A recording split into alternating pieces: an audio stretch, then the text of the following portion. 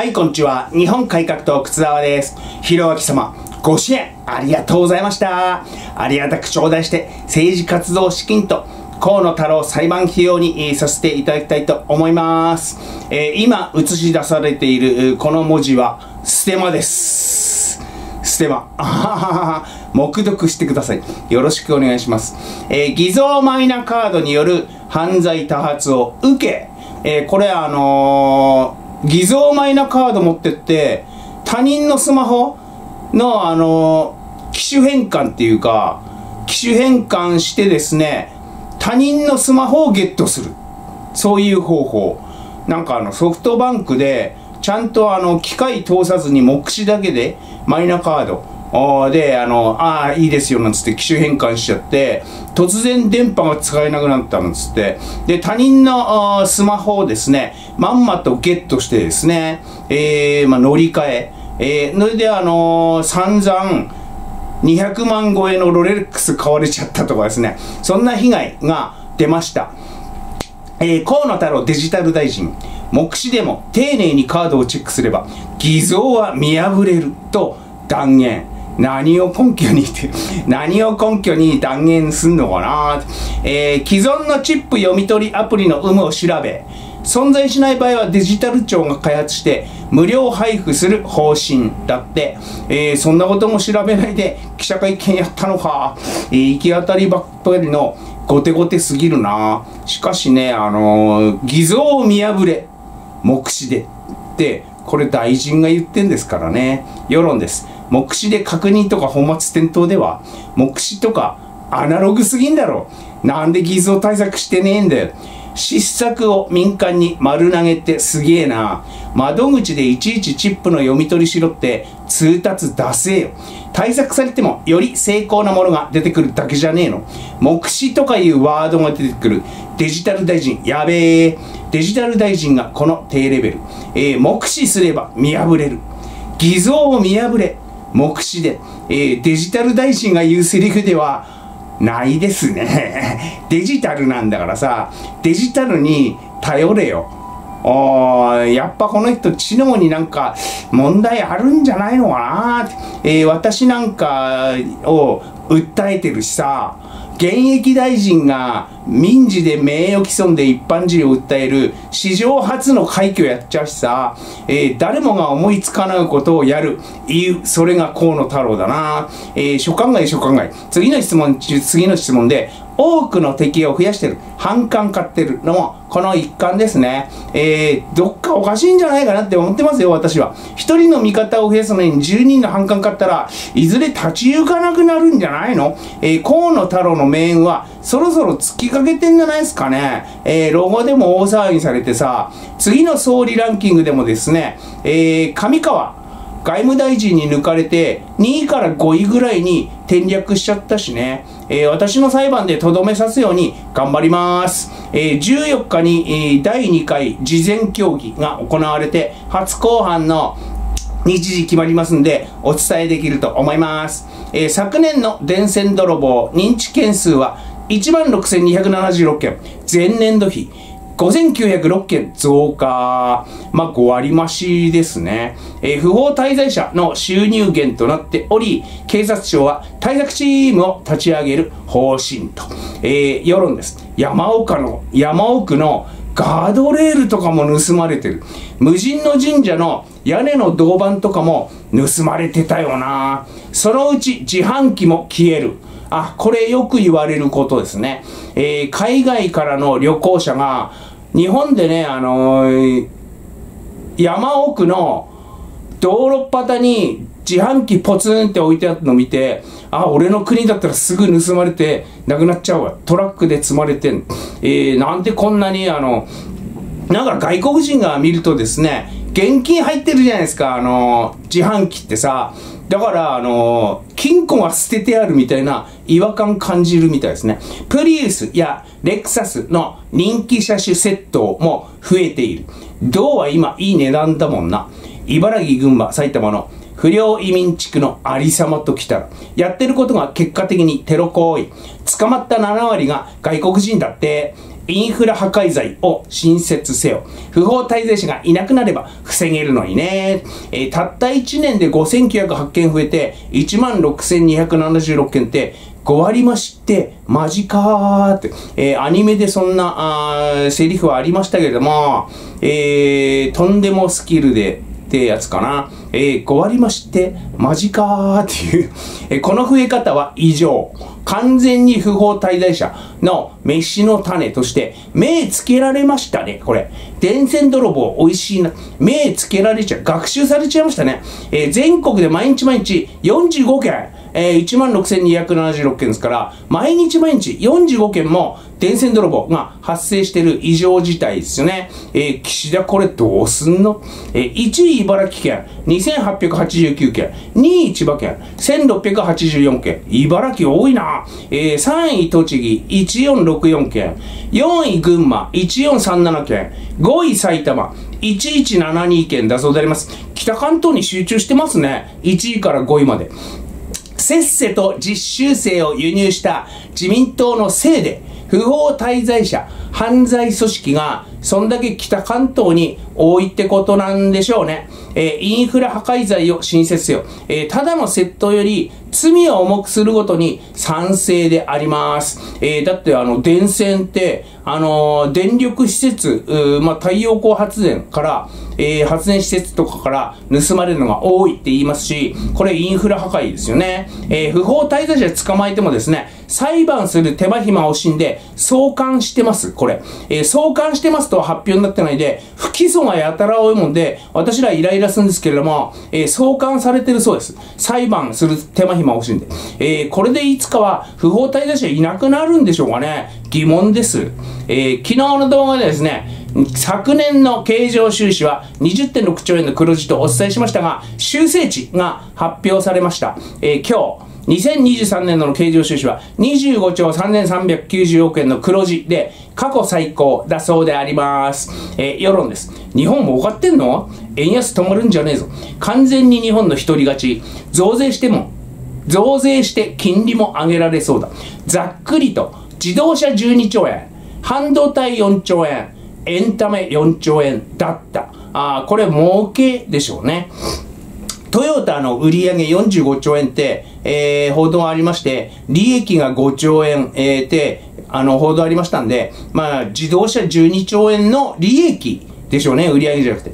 黒字なのになぜか円安に。えー、これが、あ貿易は赤字だから。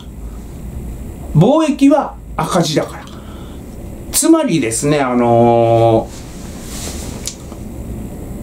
世界が日本のものを欲しがるよりも、日本が世界のものを欲しがってる方が多いってことなんですね。あの、貿易が赤字ってことは。まあ、主に、あの、石炭、石油、エネルギー関係なんですけれども、えー、なので、貿易赤字なんで、円安になっちゃうんだな。えー、なぜならですね、外国の人は日本のものがあんまり欲しくない。だから、円を買って、その円で日本の製品を買うというのが、日本人が、日本がドルを買って、そのドルで外国製品を買うのより少ない。ということになりますんで、円安となりますね。えー、黒字なの、あ、なのに24ヶ月、実質賃金マイナスと。えー、我が国は何十年もずっとですね、対外資産世界一であります。えー、一説によると、官民合わせて3000兆円。外国に資産あんじゃねえか言われてる。その資産の利子や配当、えー、株式であるとか土地の賃料であるとか、特許のあのー、使用量であるとか、えー、そういうやつが恒常的に流れ込む資産国であります。えー、昨年はこれらの利子や配当の合計、第一次所得収支が35兆5312億円だった。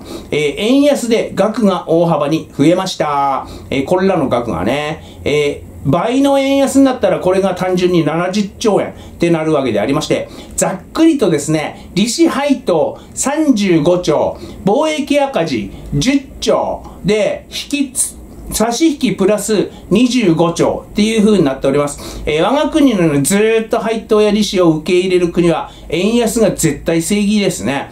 えー、バカ学者が、バカメディアが悪い円安があって絶叫しても、騙されないでください。えー、食品値上げで生活がーっていうやつはなんで輸入品しか買わない前提なんだと。えー、円安でですね、輸入品の値段上がればですね、えー、国産大豆や国産小麦にも息吹き返すかもしんねえだろ、え、いう話。円高の欠点、え、国内産業、国内農業が外国製品に押されて死ぬ。え、輸入大豆に太刀打ちできない値段で、えー、輸入のあの、100均の雑貨品みたいなのに太刀打ちできない、えー、値段で、輸出産業の競争力が低下する。そんでもって中国、韓国にシェアを奪われる。外国人観光客が来ない。円高だと。えー、外国人労働者が来る。円高だと。えー、円安の利点。輸入品に値段で負けてた国内産業や国内農業が息を吹き返す、えー、輸出産業が好調になる、えー、対外資産からの利子や配当の額が増える、円安で、円換算で、えー、外国人観光客が来て金を落としていく、外国人の出稼ぎが減る、えー、この最後のですね、外国人労働者が減るだけでも円安が続いてほしいと思いますよ、私は。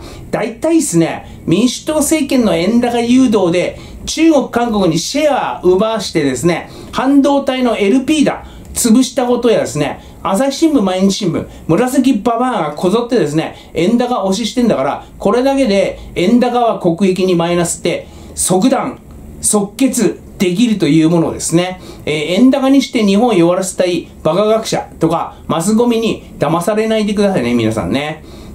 セキュリティクリアランス制度含む経済安保法、安保、新法、10日に成立、今日成立、参院で可決。採決では共産党と令和が反対した。えー、立憲はぐずぐずぐずぐず言ってた割に反対しないで賛成票を投じたようであります。世論です。特定野党の嫌がることが日本の国益になるのは今や常識。え、立憲も賛成したのか立憲同士は何があった立憲は負け格だとすぐ裏切る。反対理由がいつもこじつけ。共産と令和の議員の身辺調査をしてほしい。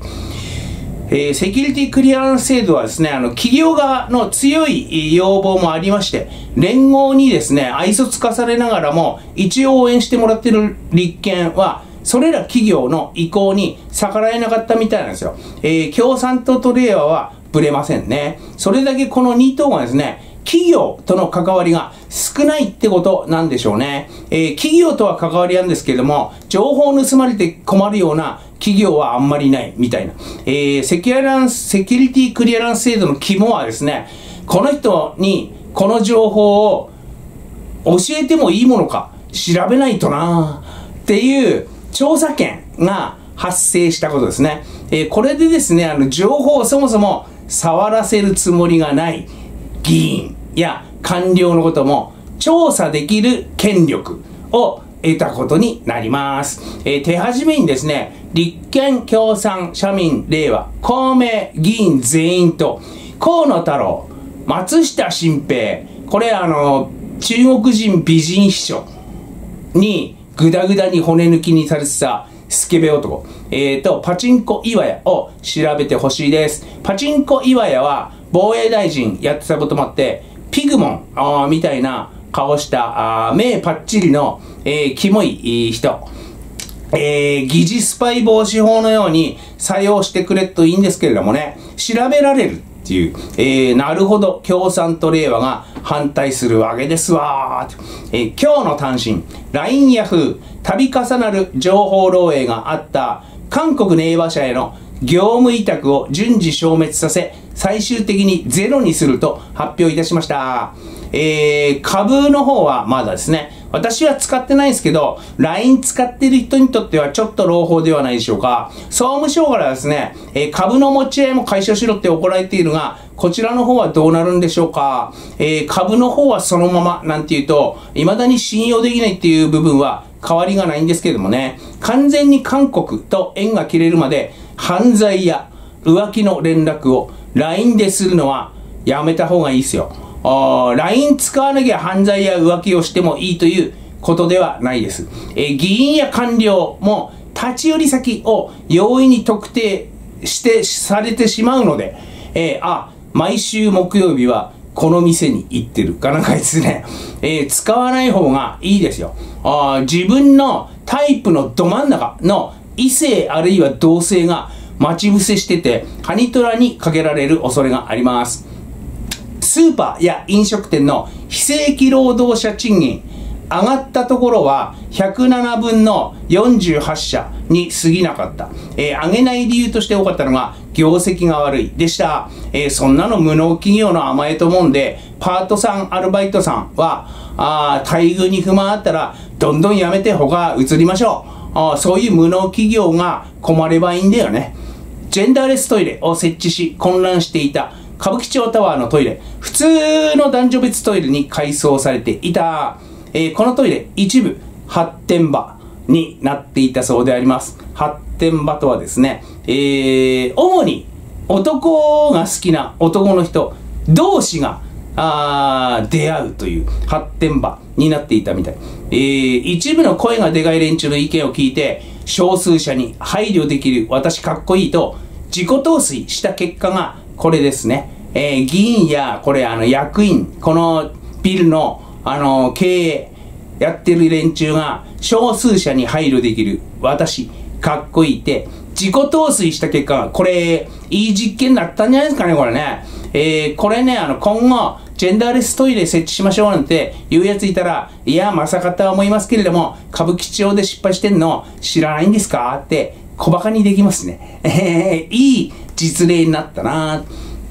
イギリス政府に世界一安全と認定され、不法滞在者の強制送還先に選ばれたウガンダさん、反同性愛法廃止の訴えを裁判所が却下、えー、つまり廃止しねえっていう、えー、反同性愛法っていうのがあるそうであります。えー、エイズが相変わらず多くてですね、同性の性行為はその蔓延を助長すると考えられており、行為に及んだ同性愛者の最高刑はなんと死刑。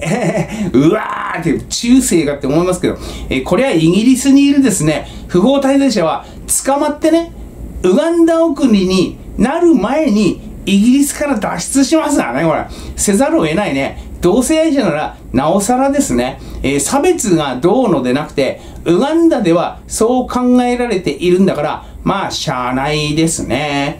えー、心理学者、音が大きい車に乗っている男は、サイコパスが多い研究結果を発表サイコパスは他人の不快を無視できる、えー、爆音で不快に思う他人を見て快感を得ている可能性がある。なるほどなるほど、えー、家族や知り合いの男性が爆音の車やバイクに乗ってたら要注意ですね。あこいつサイコパスかなえー、昭和の暴走族クソやかましかった、えー、全員サイコパスになっちゃいますね。えー、まああの、若干サイコパスっていうのもあるとは思いますけれどもね。というわけで、チャンネル登録よろしくお願いいたします。メール党員さんも大募集であります。こちらのもよろしくお願いいたします。